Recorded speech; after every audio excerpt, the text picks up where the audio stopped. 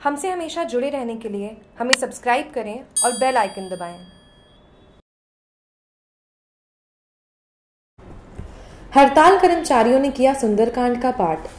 Rajasthan roadways की प्रदेश व्यापी चक्का जाम हड़ताल सोमवार को भी जारी रही। इस हड़ताल का सोमवार को आठवां दिन था। हड़ताल के दौरान धरने पर बैठे रोडवेज़ कर्मचारियों ने अपनी मांगों को लेकर नारेबाजी कर प्रदर्शन किया। साथ ही यहाँ सुंदरकांड पाठ का आयोजन भी किया गया। इस दौरान भजन गाकर उन्होंने सरकार को सद्बुद्धि देने की कामना की। रोडवेज़ कर्मचारियों का कहना है कि बीते जुलाई में हड़ताल के दौरान सरकार ने संयुक्त मोर्चे के साथ 27 जुलाई को एक समझौता किया था। इस समझौते पर राज्य सरकार ने उनके सभी मुख्य मांगों को पूरा करने का भरोसा दिलाया था, लेकिन सरकार ने अभी तक उनकी मांगों को पूरा नहीं किया है।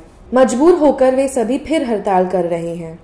Rajasthan state roadways employees union attack के प्रदेश सचिव लक्ष्मण सिंह राजपुरोहित ने बताया कि समझौता वार्ता के दौरान लिखित समझौतों को निर्धारित समय विधि में लागू नहीं करने, सातवां वेतन आयोग लागू करने, पदोन्नति करने, नई बसों की खरीद करने, रोडवेज़ में विभिन्न पदों पर नई भर्ती करने सहित अन्य मांगों को लेकर आंदोलन कर रहे हैं। आंदोलन की कड़ी में सोमवार को धरना स्थल पर सुंदरकांड पाठ का आयोजन किया गया।